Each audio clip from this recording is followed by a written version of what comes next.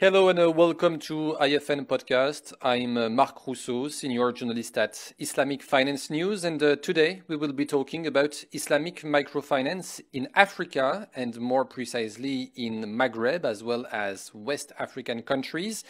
To discuss this topic, I'm joined by Nabil Ghalleb, CEO and the chairman of the board of Zitouna Tamkeen, the only Islamic microfinance company in Tunisia.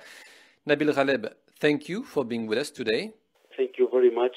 Let's start with Morocco and Algeria, two countries where the government recently decided to strongly support the development of uh, Islamic finance.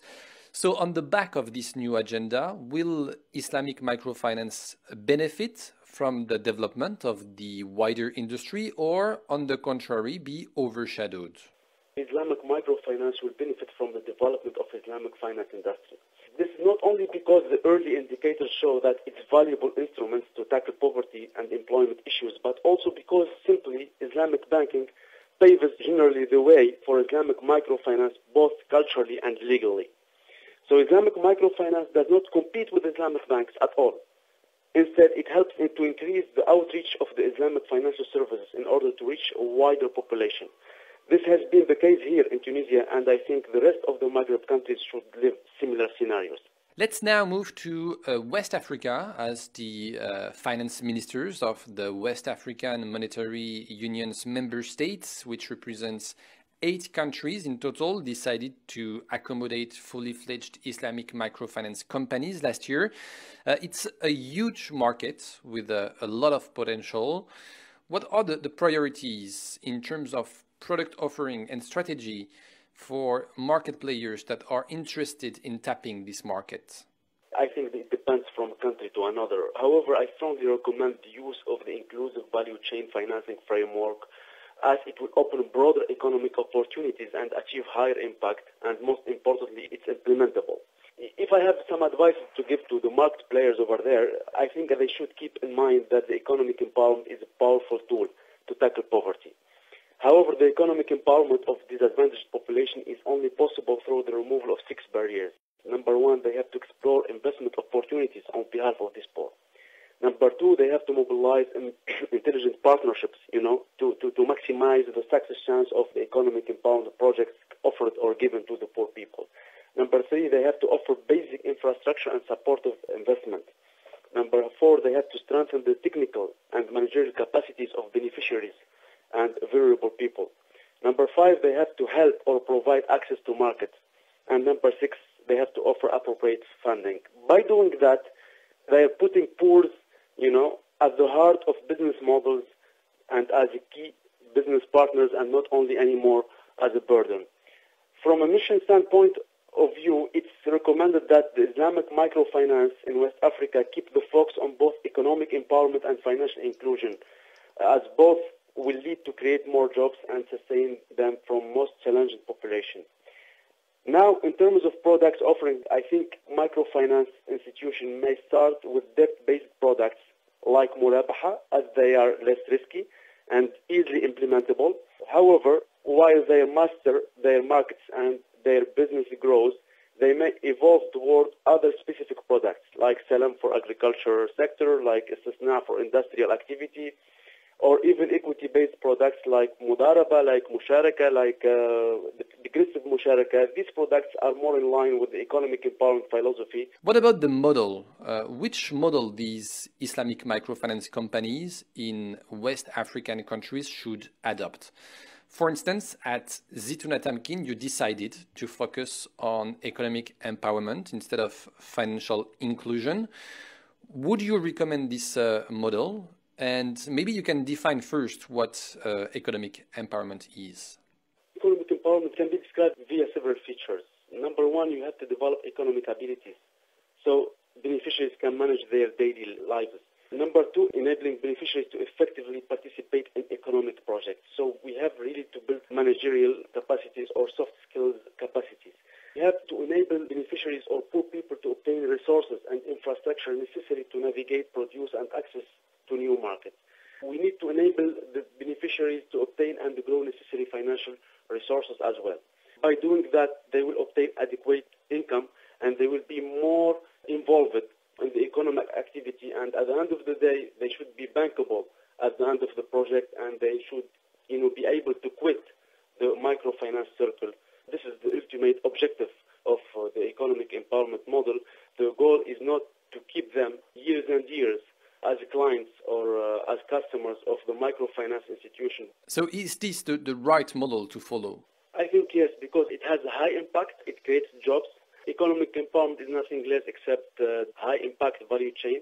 So actually, the economic empowerment approach controls the inputs and the outputs of the value chain, create opportunities out of this value chain.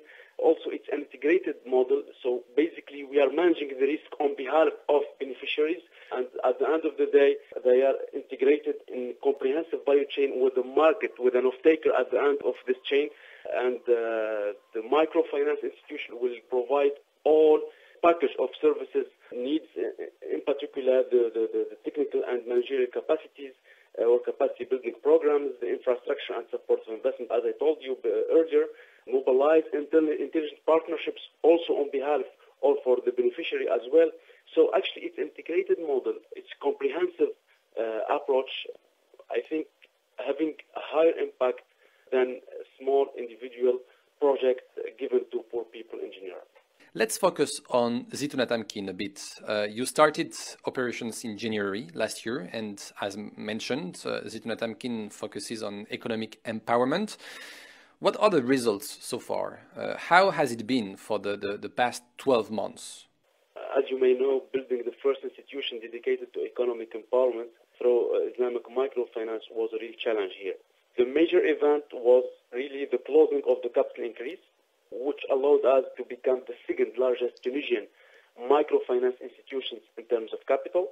This allowed us, of course, to close the year with almost 10 million dinars outstanding financing and uh, more than 1,800 beneficiaries. We have also worked on our footprint and we successfully implemented 10 branches across the country, putting the marginalized regions at the heart of our priorities.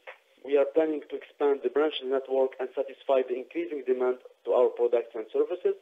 We will deploy 40 branches over the country.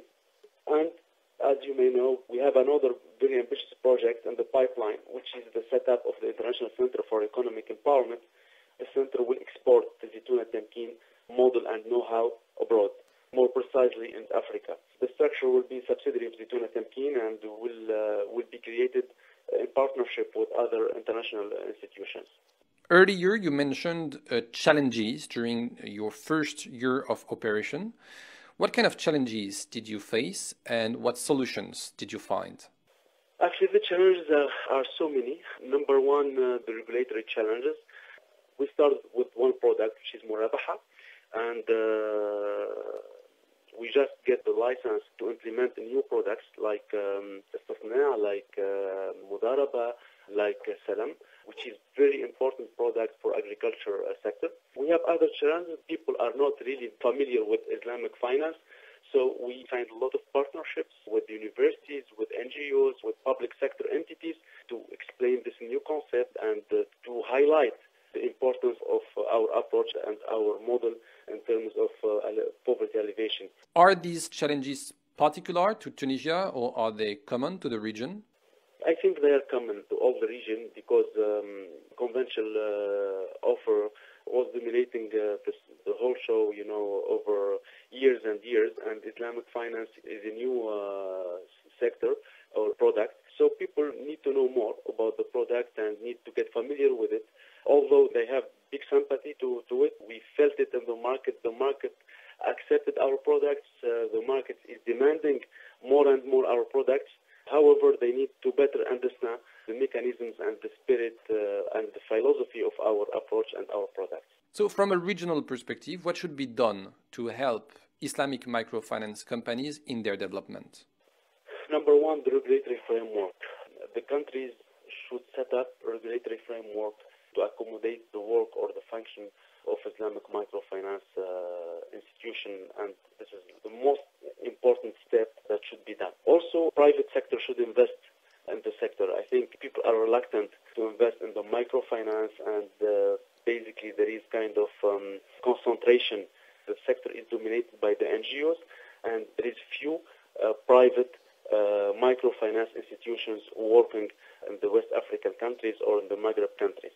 So the private sector should believe in the mission of the microfinance institution and should invest. Where do you see Islamic microfinance in the next five years in North Africa and West African countries? Islamic microfinance has a bright future in, in, in North Africa, I think, and, and West Africa because the demand is there, the demand is real.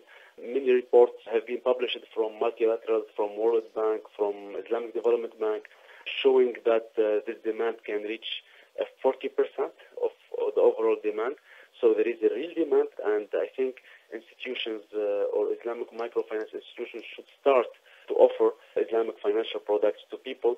We felt it in Zitouna Tamkeen, very positive reaction from the market to the point that we revised our objectives and we doubled even our uh, business plan objectives because the demand is there and, and people are eager to deal with the Islamic microfinance institutions. Nabil Ghalleb, CEO and the chairman of the board of uh, Zitouna Tamkeen. Nabil Ghalleb, thank you very much for being with us today. Thank you, Mark.